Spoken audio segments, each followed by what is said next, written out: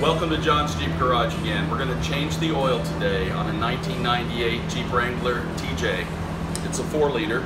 You'll need about 6 quarts of oil. So I've bought the uh, Valvoline Full Synthetic 10W30. Uh, with that, I like to use the Fram. It is called the Ultra Synthetic Filter XG16. Okay, so we're working on our 4 liter today. We're going to need a few supplies. Make sure you got gloves and safety glasses. You're going to need some type of oil filter wrench, a largemouth funnel, and for the oil plug you need a 5 8 You may want a drain pan. There's many varieties out there, but you don't want to spill anything. Please write your mileage down. This is important. You want to run the engine for about 5 minutes so the oil is a little bit more viscous and easier to flow. Remove the oil cap and place it somewhere where it doesn't get dirty may want to wipe away from the oil mouth, the oil cap area, so that nothing falls in. Place your oil pan underneath the plug area where it's projected to spill out. Remember, it's going to go further than you think. Use your wrench to slowly loosen it and then use your hand to remove it all the way.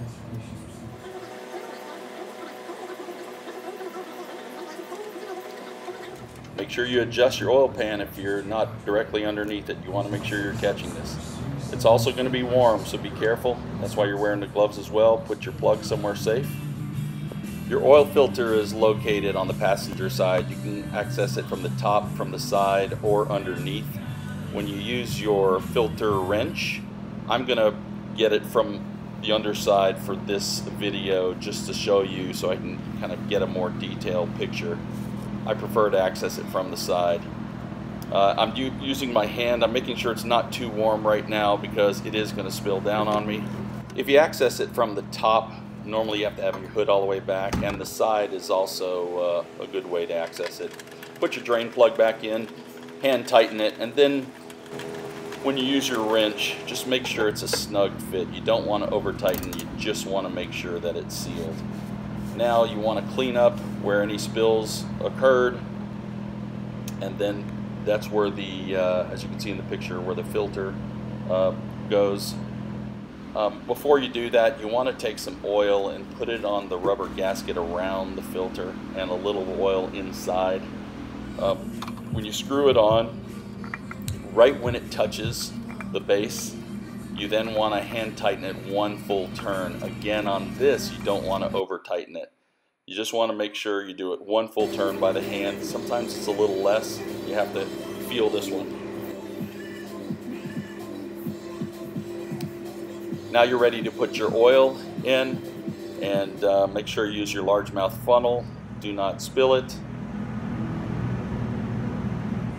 This is where you access the engine oil dipstick.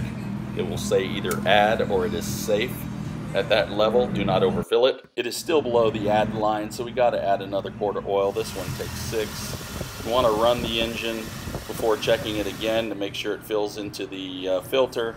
And if you look, it's hard to see on this, but uh, we're in the safe zone, so uh, we're good to go. Let's wipe all the spills up.